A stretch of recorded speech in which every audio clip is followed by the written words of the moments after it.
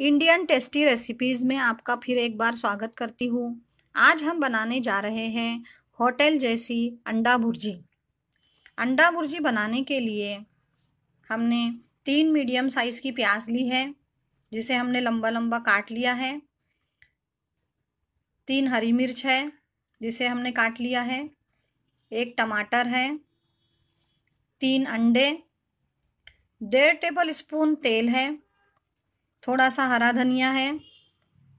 One fourth teaspoon लाल मिर्ची powder है। वन फोर्थ टी स्पून हल्दी पाउडर है और आधा छोटी चम्मच नमक है। सबसे पहले पैन में हम तेल डालेंगे। तेल गरम होने के बाद उसमें हम प्याज डालेंगे। हमारा तेल अभी गरम हो चुका है। हम उसमें प्याज ऐड कर देते हैं अभी। प्याज ऐड करने के बाद गैस का फ्लेम कम कर दें और धीमी आँच पर 15 से 20 मिनट तक प्याज को सॉफ्ट होने तक भूनें।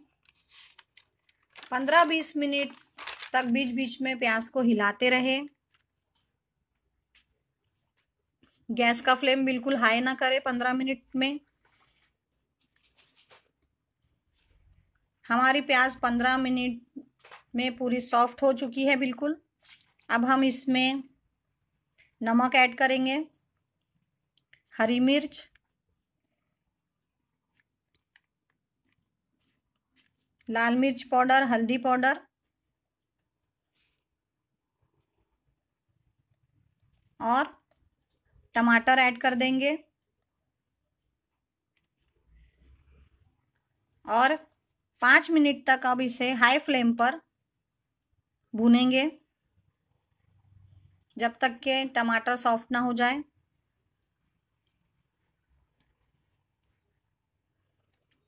पाँच मिनट हो चुके हैं, टमाटर सॉफ्ट हो चुके हैं। अब हम इसमें अंडे डाल देंगे। तीनों अंडे हम इसमें डाल रहे हैं।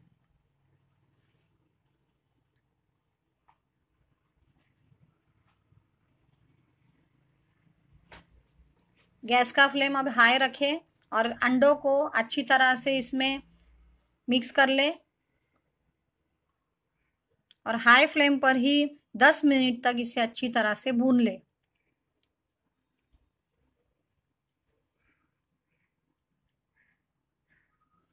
अंडे कच्चे ना रहने पाए, इसलिए इसे 10 मिनट तक अच्छी तरह से भूने। प्याज, टमाटर, अंडे सब अच्छी तरह से मिक्स हो जाए।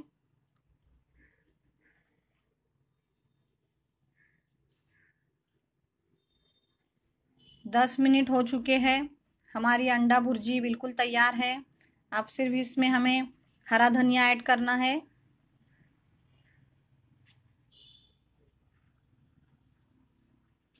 हरा धनिया मिलाकर इसे फिर एक बार मिक्स कर लें। हमारी होटल जैसी अंडा भुर्जी बनकर बिल्कुल तैयार है अब। हम इसे एक बाउल में निकाल लेते हैं। अगर अंडा भुर्जी की रेसिपी आपको पसंद आई तो प्लीज़ मेरे चैनल को लाइक कीजिए शेयर कीजिए और मेरे चैनल को सब्सक्राइब करना ना भूलें।